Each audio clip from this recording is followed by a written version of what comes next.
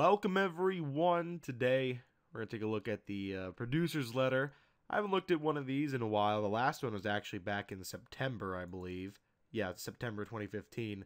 They rarely do them, um, as you can see here, which means they're of importance, and trust me, this one most definitely is. So, Falmea starts things off introducing Polaris. Um, cold for fire wizards, of course. Talk about how they started on Polaris eight months ago since the last, well, winter season, so January um, and February, right? So for only eight months, that must mean that. So basically, team, they start talking about the first world in the third arc story, as we know, is Polaris and they wanted to change things up. Now, I know a lot of people had a lot of questions or maybe possible concerns of Polaris's length. Um, because I know on Test Realm we got done in seven hours or so. I can't even remember. That was that was a while back. Test Realm was a while back, and um, we noticed that as well where there were no defeat quests. There was a lot of quests where they gave an absurd amount of XP, but then again, it did go smoothly, maybe a little too smoothly compared to worlds such as Azteca, which was twice as long, and that was level 80 to 90. So that's definitely something worth considering. But they talk about in here they wanted to minimize defeat and collect type quests uh, go get the ingredients, make me a sandwich quest. Uh, that's that's kind of a fun play on that, and um, and that's kind of what they talk about in the first few paragraphs. And the cinematic experience, which did have its flaws, uh, especially with the rat, um, but those were really good. So that's what basically happens going on in here. Uh, and you know, is it good that it was that quick for a higher up world? I don't know. Let me know. I mean, for me personally, I would have liked a longer world. Um, we could have, you know, kept on the same theme of reducing like they did the defeat and collects, but maybe amplify the world a little longer. But I don't really know how they would do that uh, story wise because it did flow pretty smoothly. I have to be honest, but you know, maybe make the bosses with more health or uh, maybe have them cheat or something like that. Maybe a little bit of a different spin. So hopefully that happens in future worlds. Um, but definitely they seem like they're going on the same route for the future worlds, but maybe hopefully a little bit harder next time, please? Question mark. Uh, so yeah, those are the first few paragraphs. Now, I'm really happy they talk about Morganthe's story and how it got a little stormy at times. I appreciate that. Uh, mainly because, well, I remember, oh my gosh, I mean, you didn't really have focus. I mean, for me personally, maybe it was because I didn't really pay attention to story and whatnot um, way back when when Celestia was introduced, but you know Morganthe didn't really have a presence in Celestia. Uh, I mean, she was referenced, and then even more previously in the uh, the co-op, Morgantine forces, and they had to retreat back in Celestia. Well, I mean that does explain a lot, but it was kind of one of those things where it's like you kind of wanted, you know, more from that world. And I feel like Polaris did give us more with Old Cobb, and it was kind of whimsical in a way, and then kind of some backstory, which I really do appreciate, even if the world was shorter. Um, so that's something worth noting. Uh, so they talk about also new round of shadow enhanced spells. Uh, yeah, those are crazy. I want to keep combat fun, fast paced, and exciting. The new spells were conceived with that in mind. Super fun and epic but a less lengthy than some of the spells we've released previously. Oh my gosh, it's hilarious. We made a few changes, you did. Pleased how the spells turned out. We hope you feel the same. Best news on this front, however, is we've already begun working on yet another batch of magical mayhem. We think you're really like what we're cooking up. Wow. So, they don't really say it's going to be more shadow, but that's pretty obvious, right? Of course, I'd be remiss to point out this was a big milestone. I know, graduation. Oh my gosh. Few game dynamics working great for 40, 50 levels ago, but as game progressed, they proven to be unsustainable for long term. Oh, this is why. Okay.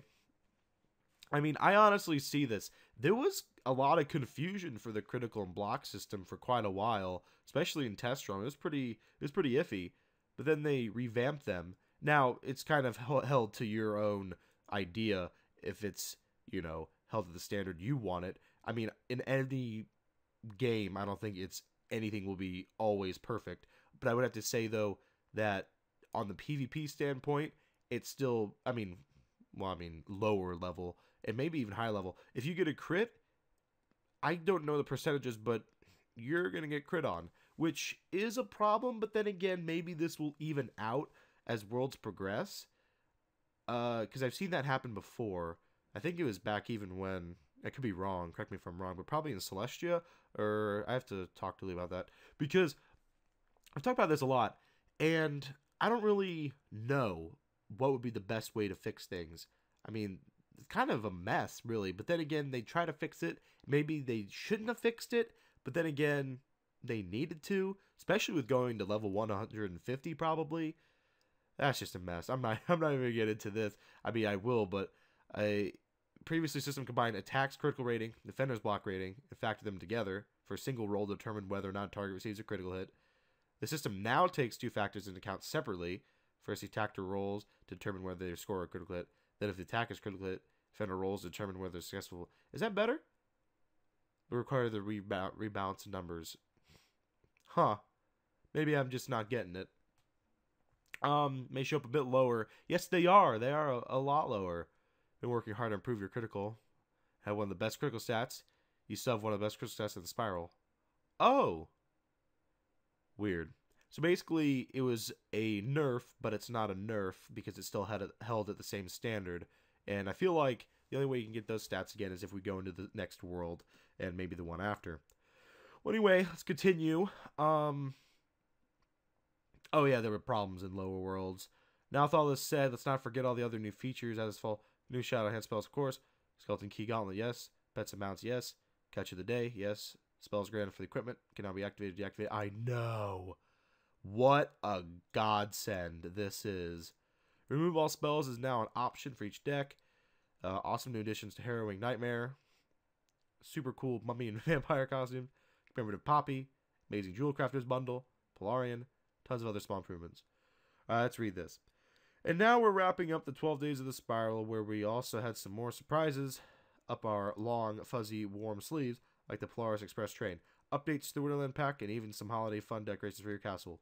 As we wind down the year and head off for a ski holiday Polaris here at KingsIsle, we're already looking forward to bringing the spiral a sleigh full of amazing content in 2016. The other professors, I can't wait to join you for another year's worth of journeys. Stay fiery, Leah Professor Falmea, Ruben. Huh. I mean, 2015 was a good year, team, all considering. Uh, a lot of exciting ground points to where I hope they continue to, well, basically go down the same path and keep in mind the community's voice. You know, I feel like they have as of recently, and um, maybe I don't really know. I don't know where they need to go for the next world. I mean, they are trying to fix things right now, which I appreciate. And maybe, you know, with the next world, well, I mean, one of the major things is is I have a lot of questions, especially for Polaris.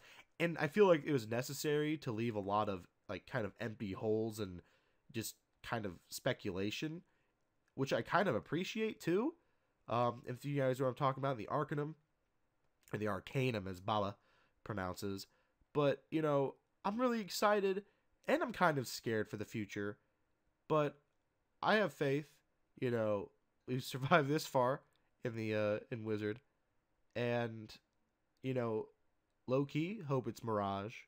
Uh, but I hope they, you know, a little bit lengthier worlds um, shadow magic seems like it will be the most prevalent.